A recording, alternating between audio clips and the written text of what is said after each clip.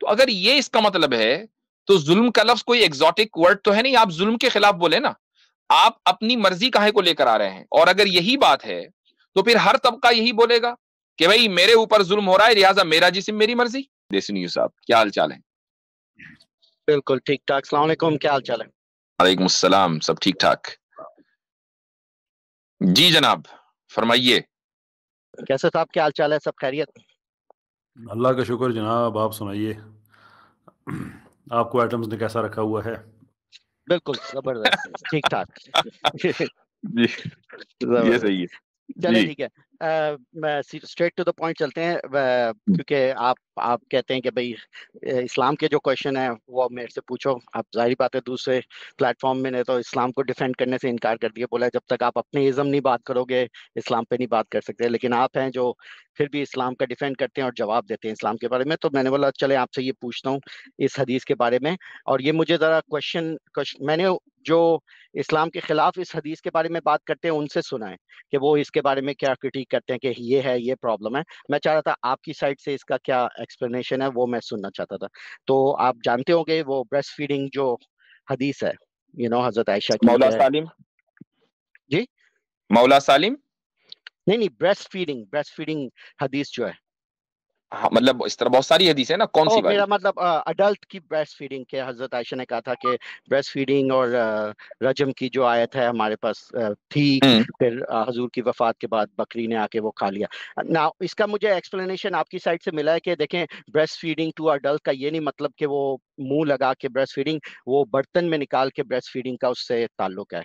और वो एक और हदीस भी है आई थिंक आई थिंक उस पे इब्न माजा देखें इस हदीस के ताल्लुक से वो जो अडल्ट को ब्रेस्ट फीडिंग है ना इस, इस हदीस के ताल्लुक से दूसरी अहादीस और दूसरी आयतों की रोशनी में उम्मत का इस बत इस पर इत्तेफाक है फुकहा का कि अडल्ट को ब्रेस्ट फीडिंग कराने से रिश्तेदारी कायम नहीं होगी।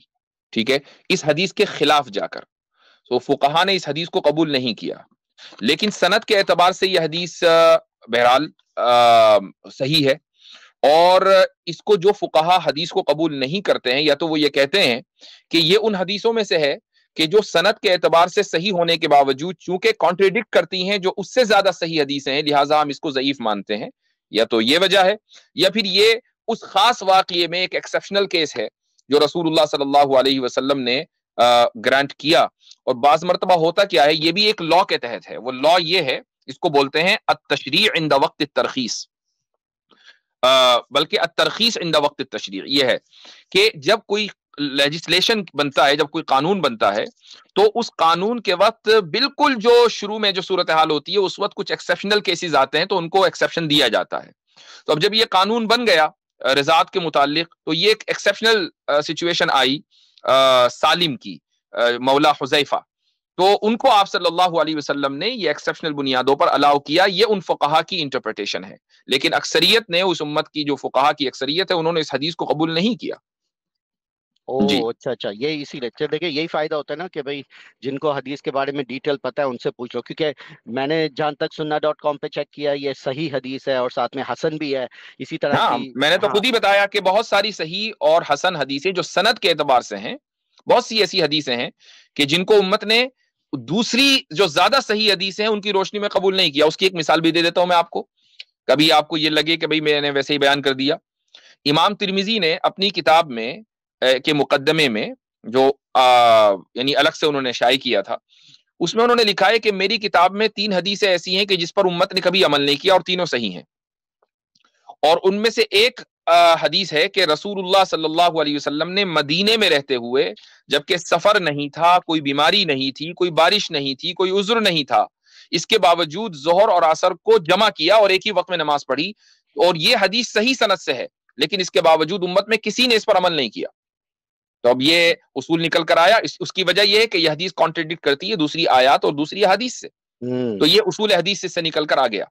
तो बे, बेसिकली ठीक है समझ आ गई मुझे। तो आपका कहने का मतलब कि आज के टाइम पे आ, अगर लेट्स से हाइपोथेटिकल कोई किसी का गुलाम है वो प्यूबिट प्यूबिटी में जा रहा है अगर उसको जो उसकी मालिक है ब्रेस्ट मिल्क पिला देती है तो वो महरम नहीं बनेगा। नहीं होगा। नहीं है। अच्छा अच्छा नहीं होगा। क्योंकि बिल्कुल मेक सेंस करता है क्योंकि आई थिंक मोता इमाम मलिक के अंदर जो हदीस है आई थिंक बुक थर्टी हदीस फोर्टीन इसको कोरस्पॉन्ड कर रही है। इसीलिए मैंने चेक किया था। मैंने बोला इट डजंट मेक सेंस क्योंकि उस हदीस के मुताबिक कोई बंदा उमर खताब उमर उमर बिन खताब के पास आया था उसने कंप्लेन की थी कि मेरी एक स्लेव है जिसके साथ मैं सेक्स करता हूँ लेकिन मेरी बीवी ने उसको अपना ब्रेस्ट मिल्क पिला दिया है और जब मैं उसके साथ सेक्स करने जा रहा था तो मेरी बीवी ने मुझे बोला कि वॉच आउट मैंने इसे अपना ब्रेस्ट मिल्क पिला दिया है तो फिर हम्म। उमर खताब ने बोला अपनी जाके बीवी को मारो और तुम फिर भी सेक्स कर सकते हो इससे क्योंकि मिल्क पिलाने से वो तुम्हारी लाइक like, महरम नहीं बन गई और समथिंग लाइक दैट तो वही मुझे कॉन्ट्रडिक्टरी लग रहा था ये वाली जो रिवायत है मेरे इल्म में नहीं है मैं इसको चेक करूँगा कि ये ये, ये रिवायत कहाँ तक सही है। या मोता इमाम तो लेकिन बहरहाल ये है लेकिन बहरहाल जो मसला आपने पूछा है उससे हाँ ठीक है ठीक है ठीक है। जी। दैट्स फाइन जो जो मसला आपने पूछा है उसका जवाब जो है बिल्कुल वाजह तौर से आपको दे दिया गया कि खुद सहाबा ने आप भी आप भी इसकी तायीद कर रहे हैं कि खुद सहाबा ने इस चीज़ को कबूल नहीं किया एक जनरल रूल के तौर पर। ठीक है? चलें ठीक है बहुत थैंक यू वेरी मच आपका। लेकिन बस अरे साहब एक रुकिएगा एक लास्ट एक लास्ट क्वेश्चन भी था। चलें आप बात कर लें कोई हम बात जी। चले आप तो आप कर लें मैं तो सिर्फ़ एंड में सिर्फ़ आपको बात कहना चाह रहा था। जाने से हाँ पहले सुनते जाइए। चले हाँ नहीं आप मैं आप कह दीजिए आप कैसर भाई आप कह दीजिए। श्योर श्योर आप आपको प्रायोरिटी है आप मैं सिर्फ़ बात वो हिसाब किताब बराबर रखने वाला आदमी हूँ ना तो जैसे इन्होंने वो कहा कि वो दूसरे प्लेटफॉर्म ने तो इस्लाम का दिफा करने से इनकार कर दिया और यहाँ पे हम बातें कर देती हैं। बस मुझमें और मुफ्ती साहब में फ़र्क ये है कि मुफ्ती साहब ने यहाँ पे मुरीदीन का एक फ़िक्री यतीम खाना खोल रखा है जहाँ पे वो अलाउ करते हैं। मैंने नहीं खोला हुआ ज़बरदस्त ज़्यादा सही आदमी है। मैं कहता हूँ कि इस्लाम पे बात करनी है तो फिर जो इज़म है उस पर बात करेंगे। अदरवाइज़ बात नहीं करेंगे। और हर आदमी को अपनी हदें पता भी होनी चाहिए। कल भी एक आदमी मेरे पास आया उसने हदीस का कहा कि फलां हदीस के बारे में बताया मैंने कभी मेरी एक्सपर्टीज नहीं है। मुफ्ती यासर साहब के आप चैनल में आया करें। मैंने उनको जवाब ज़रूर दिया और मुझे अपने हदीस के इलम पे पूरा इतमान भी है लेकिन मेरे पास सर्टिफिकेशन नहीं है तो मैं इसलिए उसको पब्लिकली उस पर मैं ज़्यादा बात नहीं करता इसीलिए मैं तो इधर ही ये आया ये पूछने के लिए छोटी छोटी हरकतें हैं ना ये नहीं ये ये ना दे, पढ़े लिखे आदमी हैं अच्छा लगता देसी नियो साहब कभी उधर भी जाया करें चूँकि बहरहाल सिर्फ़ यही एक्सपेक्ट ना करें कि हम दिफा करते रहें कभी आप भी दिफाई मूड में आए ये भी अच्छा लगता है ना। डिफेंस भी खेला करें। मेरे पास तो कोई ज़्यादा चीज़ें डिफेंड करने की है ही नहीं तो मैं क्या डिफेंड वो नहीं वो याद नहीं आपको बैंक लूटने वाली वीडियो जो थी? हाँ आप सुन ले वाली बार के मुझे तो हँसी आई आपकी कमेंट सुन के उसके बारे में बट एनीवे चले वो छोड़े बात नहीं वैसे ये बात ये बात हमें समझ में नहीं आती कि मुल्हिदीन के पास डिफेंस के लिए कोई कुछ क्यों नहीं होता? मतलब कुछ तो होना चाहिए ना कोई ना कोई तो आइडियोलॉजी आपकी है। मिसाल के तौर पर आप कुछ नहीं तो लिबरल तो हैं ही कुछ नहीं तो सेक्युलर तो हैं ही कुछ नहीं तो फेमिनिस्ट तो होने ही चाहिए कुछ नहीं तो होमोसेक्सुअलिटी के सपोर्टर तो होने ही चाहिए। कुछ नहीं तो प्रो चॉइस तो होने ही चाहिए। ये सारी आइडियोलॉजीज तो आपकी है ना? या नहीं है? नहीं, मेरा मिक्स है। आप जब, पहले भी मैंने बोला है कि मेरा कोई फिक्स्ड आइडियोलॉजी पे किसी पे वो नहीं है और अगर किसी और आइडियोलॉजी में अच्छी चीज़ मिलती है, मैं ले लेता हूँ। सबसे ज़्यादा आइडियोलॉजी में से जिसमें से मैंने अच्छी चीज़ें निकाली है, वो इस्लाम है। अभी भी मैं इस्लामिक तरीके से ही रहता हूँ ऑलमोस्ट सिर्फ़ मैं जो जादू टोने वाली बातें वो यकीन नहीं करता। बाकी मॉरलिटी के लिहाज से तो मैं इस्लामिक तरीके से ही रहता हूँ। ना तो शराब पीता हूँ, ना पोर्क खाता हूँ, ना वो सारी बातें दूसरी जैसे मैं पहले करता था, अभी भी वही करता हूँ। ना तो क्लबों में डांस करता हूँ, ना तो जिना करता हूँ। कोई भी एक्स्ट्रा चीज़ नहीं करता जो पहले नहीं करता था वो अभी भी नहीं करता। सिर्फ़ ये है वो जो मेडिकल और कहानियाँ है उसमें मेरा यकीन खत्म हो गया उसके अलावा अच्छा लाइफ वैसी अच्छा ये जैसे पहले। तो मैं ये कहता हूँ कि फिर आप गांधी साहब के आगोश में चले जाएँ चूँकि वो भी कुछ आपकी मिलती जुलती बातें करते हैं। हाँ। आप उनके हाँ आगोश में चले जाएँ आपसे करीब भी हैं वो टेक डेलस में रहते हैं? बिल्कुल बिल्कुल नहीं मैंने उनकी बातें सुनी है बहुत अच्छी हैं बट मुझे लगता है कि ये एक बेसिकली जख्म पे बैंडेड लगाने वाला है। कि एक टेक्स्ट है अब उसको आप हजम नहीं कर सक रहे जैसे लिखा हुआ है तो अब आप उसको घुमा फिरा के इसका ये ये आपने मतलब बिल्कुल सही कहा मैं आपकी बात से हंड्रेड परसेंट इतफाक रखता हूँ इसलिए मैंने गांधी का नाम इसलिए नहीं लिया कि मैं उनको इंडोर्स कर रहा हूँ। मैंने कहा हो सकता है कि आपके दर्द का इलाज उस वाले क्लिनिक पे हो। नहीं नहीं मैं अ, मैं क्वाइट क्वाइट क्वाइट सेटिस्फाइड हूँ उस लिहाज से। इस्लामिक मोरालिटी और इस्लामिक जो चीज़ें हैं उसी तरह मैं लेता हूँ। मेरी वाइफ भी इस्लामिक है मेरे सारी फैमिली वाले तो मुझे उस लिहाज से कोई इतना ज़्यादा इशू नहीं रहता। बस मेरी जितना तो ये जो है ये जो ये जो मसला है मेरे मेरा जिसम मेरी मर्ज़ी इससे आपको सख्त इख्तिलाफ होगा? मेरा जिसम मेरी मर्ज़ी? नहीं नहीं इख्तलाफ तो नहीं है एक सर्टेन लेवल तक जिस तरह अभी तो आपने कहा कि भाई मैं तो इस्लामिक मोरालिटी को मानता हूँ। हाँ और मैं डांस नहीं करता क्लब नहीं करता तो श्योर मेरी श्योर मेरा जिसम मेरी मर्ज़ी तो इस्लामिक मोरालिटी के खिलाफ है ना?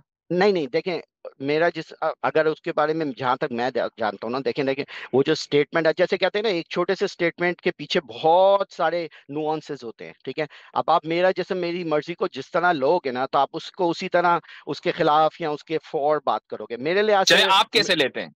मैं इस तरह लेता हूँ कि देखें मेरा जैसे मेरी मर्ज़ी के अंदर ये होना चाहिए कि औरत अगर कोई उस पर जुल्म हो रहा है किसी जगह पे पाकिस्तान में किसी किसी कल्चर की वजह से उनको अन अनप्रोपोर्शनल तरीके से उनपे कई दफ़ा जुल्म होता है। आपके आपकी फैमिली में नहीं होता होगा बहुत सारे अच्छे जो पढ़े लिखे मुसलमान हैं वो जुल्म नहीं करते होंगे औरतों पे। आई एग्री मेरी फैमिली में भी ज़्यादा लेकिन हैं बहुत सारे फैमिलीज़ उधर जिसके अंदर औरतों पे वाकई जुल्म होता है और वाकई उनके इस्लाम की वजह से नहीं आए चले ठीक है मैं मैं एक मिनट में आपको रोक कर ये कहता हूँ कि मेरे मेरा जिसम मेरी मर्ज़ी का मतलब है कि मुझ पर आप जुल्म ना करें ये जो मुआशरा जालिम है इसको चाहिए कि मेरे ऊपर जुल्म ना करे। तो अगर ये इसका मतलब है तो जुल्म का लफ्ज कोई एग्जॉटिक वर्ड तो है नहीं आप जुल्म के खिलाफ बोले ना। आप अपनी मर्ज़ी काहे को लेकर आ रहे हैं? और अगर यही बात है तो फिर हर तबका यही बोलेगा कि भाई मेरे ऊपर जुल्म हो रहा है लिहाजा मेरा जिसम मेरी मर्ज़ी। ये ये सवाल तो फिर मर्द को भी होना चाहिए फेमिनिस्ट क्यों बोल रहे हैं खाली? बिल्कुल बिल्कुल। मर्द भी मर्द भी तो यही कह सकता है ना? बिल्कुल। और फिर हर तबका यही कह सकता है अमेरिका में जो काले हैं उनके ऊपर जुल्म होता है रेसिज्म की बुनियाद पर उनको भी ये कहना चाहिए। एबरिजिनल्स हैं उनके ऊपर जुल्म होता है उनको भी ये कहना चाहिए। इस शियार को इस नारे को फेमिनिस्ट और एलजीबीटी ने अपना कैसे बना लिया?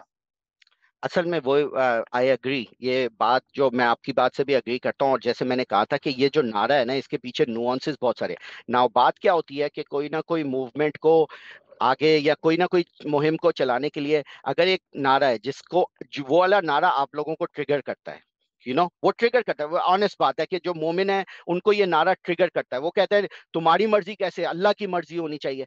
ये वाला नारा उनको ट्रिगर करता है, उनको उनसे रिएक्शन मिलता है। क्योंकि उनसे रिएक्शन मिलता है। इस, जो मूवमेंट है, उन्होंने इस नारे को अपना मेन स्ट्रीम नारा बना दिया है और उसको, लेकिन जहाँ तक मैं देखता हूँ ऑफकोर्स जैसे आप जानते हैं, मैं दोनों साइड पे देखना चाहता हूँ क्या भाई, इस नारे के पीछे क्या एक्सट्रीमिज्म भी है? अच्छा अननेसेसरी चीज़ें बहुत सारी ऐड कर दी हैं इस नारे के पीछे और एट द सेम टाइम इसके पीछे जेन्युइन नहीं अगर आप ये कह रहे हैं कि नारे से चूँकि ट्रिगर होते हैं इसलिए नारा अट्रैक्ट करता है तो क्या ऐसा कोई भी नारा के जिससे सामने वाला ट्रिगर हो उस हम्म। नारे को आप जस्टिफाई कर सकते हैं? मसलन कोई आदमी ये कहने लगे कि मैं तो मैं तो एक आदमी ये कहने लगे एक आदमी ये कहने लगे खिलाफत कायम करने के लिए कि हम तो दोबारा नाइन इलेवन करेंगे। मैं एक वैसे हाइपोथेटिकल एग्जांपल नहीं नहीं ये नहीं, तो क्या ये, आप इसको सही मानेंगे? देखिए ट्रिगर होते हैं बहुत सारे लोग इससे। नहीं नहीं ये मैच नहीं करता ना। आपको मैं इसके बेहतर सेम एग्जांपल दे देता हूँ। आप तो यूएस हम्म। में रहते हैं ठीक है ना? हम्म। आप यूएस हम्म। में रहते हैं आप इसको आप इससे फेमिलियर होंगे।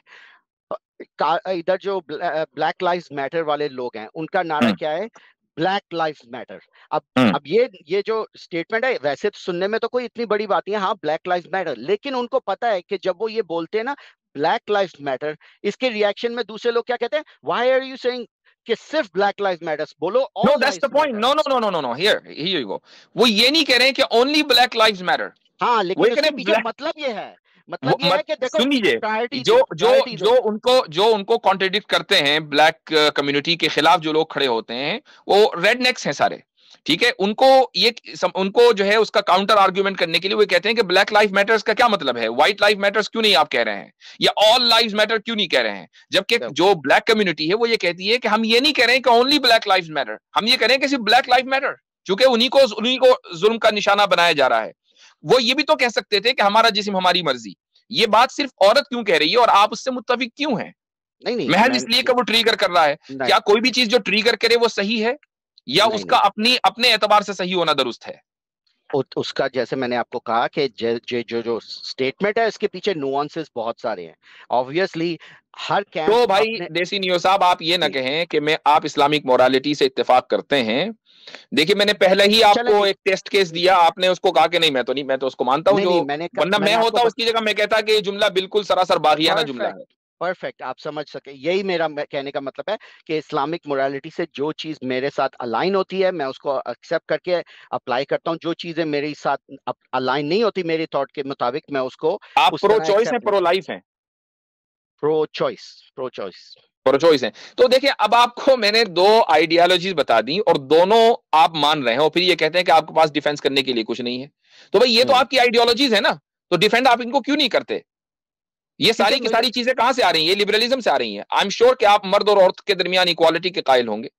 आई एम श्योर कि आप हार्म प्रिंसिपल के कायल होंगे। नहीं नहीं ऑफ़ कोर्स इक्वालिटी की भी डेफिनेशन डिफरेंट है। आप जैसे इस I I actually Islamic side से जो इक्वालिटी का थॉट प्रोसेस है वो मुझे ज़्यादा आता है कि भाई विमेंस की अपनी कैटेगरी है मेंस की अलग। ऑब्वियसली कई ऐसे राइट्स हैं जो वुमेन्स को मिल सकते हैं, वो मेन को नहीं मिल सकते।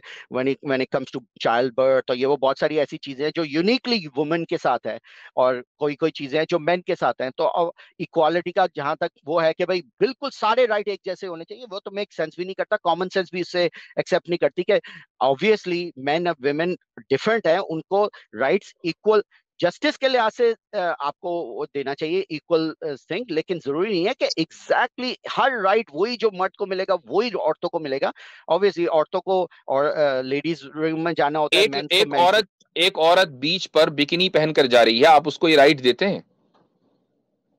किधर मतलब अमेरिका में या किधर कहीं भी दुनिया में कहीं भी आप उसको डिपेंड करता है। नहीं ऑब्वियसली यार कॉन्टेक्स्ट पे डिपेंड करता है। आप किधर हो? आप अमेरिका में हो आप चले अमेरिका की मिसाल दे देते हैं कि उसको अमेरिका की मिसाल है हम उसको अखलाकी एतबार से अखलाकी एतबार से बात हो रही है कानूनी नहीं अखलाकी एतबार से हम इसको गलत कहेंगे सही कहेंगे। नहीं नहीं अखलाकी हर एक का अपना होता है अगर उधर एक मुस्लिम फैमिली बैठी है वो कहेगा कहेगी देखो ये कितनी बदतमीज है। कोई अमेरिकन फैमिली बैठेगी कहेगी देखो इसने ऊपर भी छुपाया हुआ है नीचे भी छुपाया हुआ है। बात कर रहा हूँ मैं। अगर मैं अमेरिकन फैमिली या मुस्लिम फैमिली की नहीं मैं आपकी बात कर रहा हूँ। हाँ मेरे लिहाज से बेस्ड ऑन द आपकी जो फैमिली स्ट्रक्चर और फैमिली अंडरस्टैंडिंग है उसके मुताबिक आपने जो पहना हुआ है अगर that is acceptable to your family और उसके आपके नज़दीक आपके नज़दीक यू देसी यू आपके नज़दीक एक लड़की बीच पर बिकिनी पहनकर फिर रही है। ये एक हम्म। अखलाकी अमल है गैर अखलाकी अमल है। फ्लोरिडा की पाम बीच पर है कहीं। हाँ हाँ। हम्म। इखलाकी अमल किसके किसके पैमाने से? मेरे आपके पैमाने से। हाँ मेरे पैमाने से मैं मैं मैं अपनी फैमिली को नहीं चाहूँगा अगर वो पहने। या मतलब तो, बिकिनी पहन ठीक है आप अपनी फैमिली को वो जो लड़की वो आपकी फैमिली हाँ, की नहीं नहीं है हाँ, वो अखलाकी हरकत कर रही है गैर अखलाकी हरकत कर रही है। वो उसके मुताबिक उसकी फैमिली के मुताबिक आपके एतबार से I am not I am not saying उसके मुताबिक मैं आपके बारे में हाँ, पूछ रहा हूँ। मेरे मेरे अखलाक के मुताबिक सही कर रही है क्योंकि she is raised in that system वो ओके गाइडलाइन के तो मुताबिक तो इसी को इसका मतलब ये है कि आप जो है फ्रीडम को भी उस जगह से आगे तक लेके जाते हैं जहाँ इस्लाम रोक देता है। तो मैंने आपको देखे तीन मिसालें दे दी तीनों मिसालों में आप खरे लिबरल ठहरे। और आप ये कहते हैं कि मेरी मोरालिटी इस्लामिक मोरालिटी है तो जब आप जब आप खरे लिबरल हैं तो आप इस लिबरलिज्म को डिफेंड क्यों नहीं करते? वही तो कैसर भाई का आपसे सवाल था कि हाँ, आपकी आइडियोलॉजी है लेकिन आप डिफेंड नहीं करना चाहते क्योंकि यू नो कि there are loopholes in your ideology simple सी बात है। नहीं नहीं देखें कैसे साहब कोई कॉन्सिक्वेंस नहीं है मेरे लिए इन चीज़ों का उस लिहाज से। इस्लाम का एक्चुअल कॉन्सिक्वेंस है लाइफ एंड डेथ के अंदर राइट इन चीज़ों पे आप एक्सेप्ट करो नहीं कर आप आप पे नहीं है।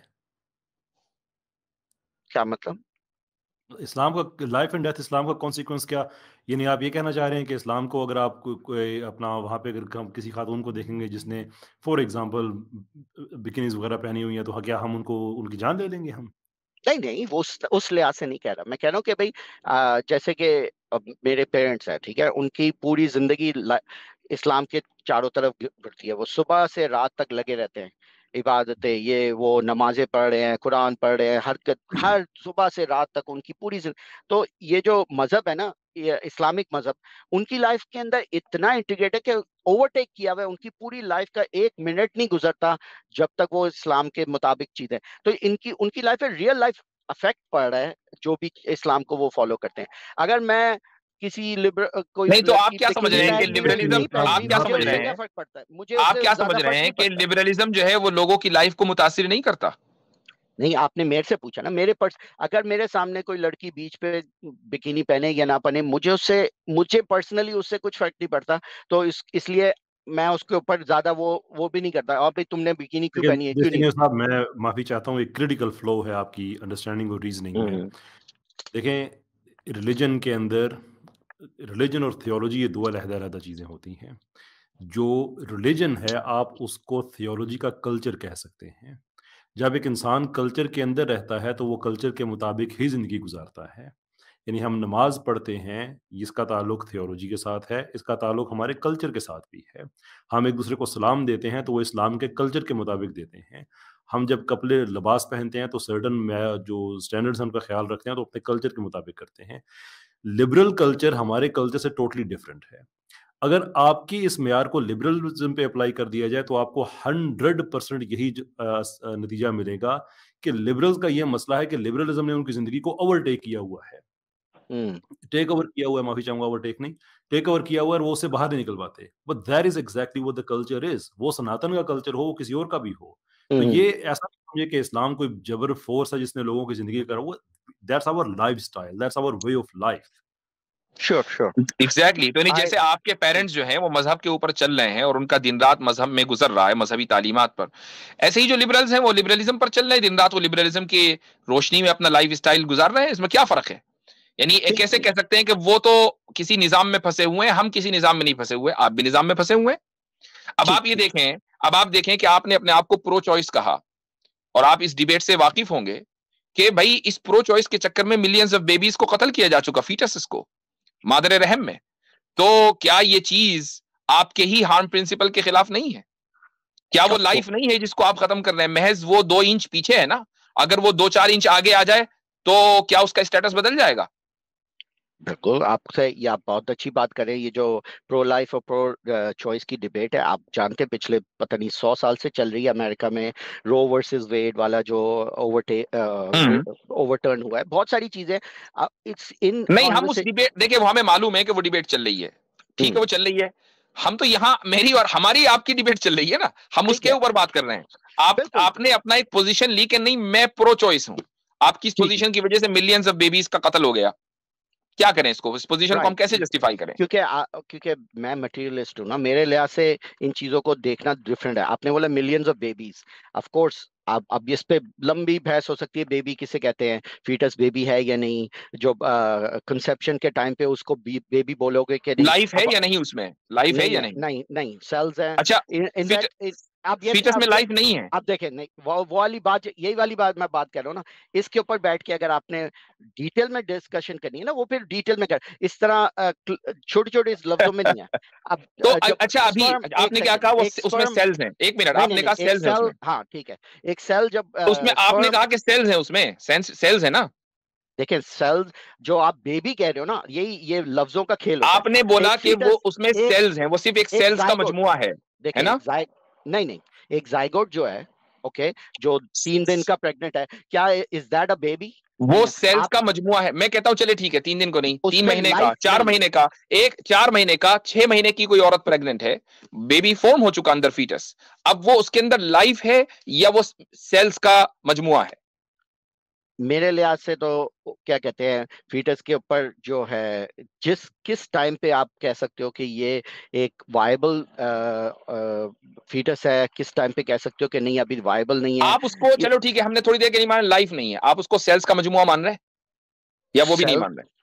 सेल्स का मजमुआ चले ठीक है आपकी बात मान ली। हाँ सेल्स का मजमुआ आप भी सेल्स का मजमुआ या आप में सेल्स नहीं है? बहुत डिफरेंट है ना। देखिए एक अगर आप, आप वो डिफरेंट हो गए। यानी हाँ, अभी आपने कहा कि वो सेल्स का मजमुआ है हाँ, और आप भी हैं। अगर उस अगर महज किसी भी सेल्स के मजमुए को कत्ल किया जा सकता है तो फिर तो हर एक आदमी को कत्ल किया जा सकता है। तो स्ट्रॉ मैन कर रहे हैं आप मेरी पोजीशन इसीलिए मैं कहता हूँ कि ये वाली बातें स्ट्रॉ मैन करने वाली बातें होती है। आप एक लफ्ज को इधर से पकड़ के एक लफ्ज को जोड़ देते हैं कि देखो हाँ ये तो यही मत अच्छा मैंने पानी पिया इसका मतलब मैंने समंदर पी लिया। ऐसे थोड़ी होती इसका मतलब ये तो नहीं हुआ। ये कैसे कह दिया कि मैंने पानी पिया इसका मतलब मैंने हाँ, समंदर पी लिया। मैंने ये तो नहीं कहा। मैं ये उस वक्त होता ये उस वक्त होता अगर मैं कहता कि आपने एक बेबी को मारा इसका मतलब है कि आपने सारी इंसानियत को मार दिया तब तो आप ये कह सकते थे। देखिए आप इस जी। अच्छा मैं साहब एक सवाल मैं भी पूछने की ज़रूरत करना चाहूँगा। अमेरिका में कोई लगभग थर्टी स्टेट्स में अगर किसी ये लो है कि अगर किसी प्रेग्नेंट खातून का कत्ल कर दिया जाए तो वो डबल होमिसाइड में आता है। क्यों? Yeah, I, I'm I'm not familiar with that law. 30 states में है ये।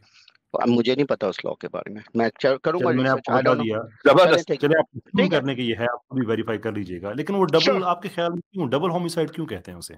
I don't know I don't know too much about that law और समथिंग लाइक दैट उसके ऊपर चेक करना पड़ेगा। मेरे पास जस्ट आपने अभी मेंशन किया है हाँ अगर आपने मेंशन किया तो होगा मुझे नहीं पता। I take your word for it sure तब मैं आपकी सहूलत के लिए स्क्रीन शेयर करके आपको लॉस दिखा आप सकता हूँ तो कर दें मुझे तो नहीं पता था इस लॉ के बारे में नो प्रॉब्लम देखा जाएगा देख सकते हैं उस लॉ को नो प्रॉब्लम मेरे लिए ये वाली चीज़ें इतनी वो फंडामेंटल इश्यूज़ नहीं है तो इसलिए मैं उनके ऊपर आपकी आपका तो ये मिशन है ना आपका एक एक एक मिशन है आप एक मिशन के मुताबिक काम कर रहे हैं। आपका भी तो मिशन है। मिशन नहीं है नहीं नहीं आपका भी तो मिशन है आपका भी मिशन है। आप मिशन के तहत आप अगर स्ट्रीम कर रहे हैं तो आप भी तो मिशन चला रहे हैं। देसीनियर साहब मुझे पता है जब ऐसी सिचुएशन में आते हैं ना तो आप you bulldoze your way out लेकिन मैं एक कोशिश और करूँगा नहीं नहीं बुलडोज नहीं किया मैंने आपको ऑनेस्टली बोला है मुझे इस लॉ के बारे में पता ही नहीं है। आपने अगर मेंशन अच्छा किया है श्योर होगा। ठीक है। अच्छा देखिए वो लो तो है ना आपको नहीं पता ये एक और चीज़ है। चलो ठीक है। हम ये कह रहे हैं और ये लो ये कह रहा है कि अगर आपने एक प्रेग्नेंट औरत को कत्ल किया तो डबल होमिसाइड होगा यानी कि आपने माँ को भी मार दिया और बच्चे को भी मार दिया। अब कोई और आदमी अगर आके मार दे तो माँ और बच्चा ये दो कत्ल गिने जाएँगे। अगर माँ हम्म। खुद उस बच्चे को मार दे तो ये कत्ल कैसे नहीं है फिर? ठीक ठीक। तो किस एज के ऊपर अब प्रेगनेंसी का क्या डेफिनेशन है उसके अंदर? कौन सी किस टर्म के ऊपर? तो आगे that shouldn't concern you no it does. आप, आप अब देखें ना अब जब न्यूज़ पे जा रहे हैं आप आप बैकफुट कर रहे हैं। आप जो लोग प्रो लाइफ जो लोग जो लोग प्रो चॉइस हैं उनके नज़दीक लेट प्रेगनेंसी में भी अबॉर्शन हो सकता है। आपको मालूम होना चाहिए ये आपको मालूम होना चाहिए कि बाकायदा नवे महीने में अबॉर्शन के लिए एक क्लिनिक न्यूयॉर्क में है और एक निब्रास्का ओमाहा में है। श्योर आपको मालूम होना चाहिए। श्योर तो ये वाली जो लॉ आपने साइट किया है कि भाई प्रेग्नेंट को मार दो तो दो मर्डर है उसके क्या लीगल वो हैं डेफिनेशन के भाई प्रेगनेंसी किसको कहते हैं? प्रेग्नेंट औरत किसको डिफाइन किया जाएगा? क्या टर्म में प्रेगनेंसी होगी? अगर वो अभी एक दिन पहले प्रेग्नेंट हुई है अगर एक एक दिन पहले प्रेग्नेंट हुई है एक दिन पहले प्रेग्नेंट वुड दैट बी भाई, कंसिडर्ड डबल होमोसाइड देखें आप प्रो चॉइस हैं इट मैटर टू यू मैं कहता हूँ डिलीवरी से एक दिन आप- पहले अगर यही तो मैं आपसे पूछ रहा हूँ आप जब मैं डिटेल पूछता हूँ तो आप उसको डिटेल नहीं देते। बोलना बहुत आसान है देखो ये एक लॉ है जिसमें डबल मर्डर है। जब उस पर डिटेल में जाओ तो आप फिर इसका क्या ज़रूरत है? ये पूछने की क्या ज़रूरत है? या देखें यही वाली बात होती है नुआंसेस में जाना पड़ता है। यही होता है मैं आपसे डिटेल माँगता हूँ तो फिर आप डिटेल नहीं देते।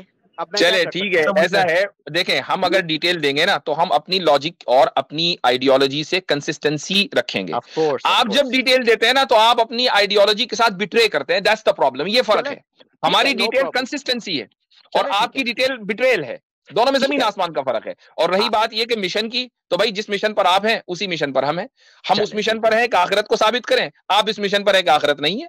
सिंपल सी बात है ठीक, है चले, चले सही है। बहुत बहुत शुक्रिया। बहुत लेकिन लास्ट एक बस क्वेश्चन मैं के बीच में बस काफ़ी गुफ्तगू हो गई बस बहुत हो गया, बहुत हो गया। एक क्वेश्चन हम अगली मरतबा देखें बहुत सारे लोग हैं बहुत सारे लोग हैं। देसी न्यूज़ चले बहुत लंबी गुफ्तगू हुई अच्छा, आपसे। मैं खत्म करता हूँ मैं कमेंट देखे कि मुझे वो वाली चीज़ समझ नहीं आई थी कि भाई ब्रेस्ट मिल्क तो फैटी एसिड वाटर चले अब तो आ गई ना। चले माशाल्लाह। कैसे बन जाता है? मुझे नहीं समझ चले अब तो आ गई। जजाकुमुल्लाह खैरन शुक्रिया बहुत बहुत।